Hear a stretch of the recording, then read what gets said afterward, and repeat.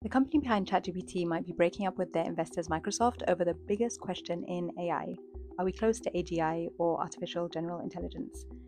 OpenAI and Microsoft were the power couple of AI. Microsoft invested over $13 billion. They've given OpenAI cloud access and integrated ChatGPT into everything, things like Word, Excel, Bing. The Problem is, it's getting messy. So OpenAI says AGI, an AI that could do anything a human can, is coming, but Microsoft is skeptical. And the twist is that Microsoft signed a deal that says if OpenAI hits AGI, then they'll lose access to OpenAI's new tech. Even though they're their biggest partner, OpenAI can cut them off, which means that OpenAI keeps full control over the most powerful AI tech and not Microsoft. It's like they're hedging their bets to protect their future and their independence. So now you've got Microsoft quietly downplaying AGI's timeline while OpenAI is like, we're here, we're close, we're testing it, but we can't talk about it. Um, and it's just a bit uncertain. It's like they're saying we're not fighting, but we're sleeping in separate rooms.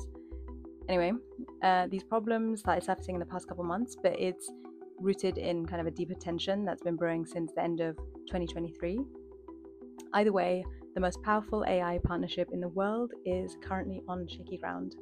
I'd love to know what you think. If you think that AGI is coming soon, if you're tracking it, if you'd be scared of it, or yeah, let me know.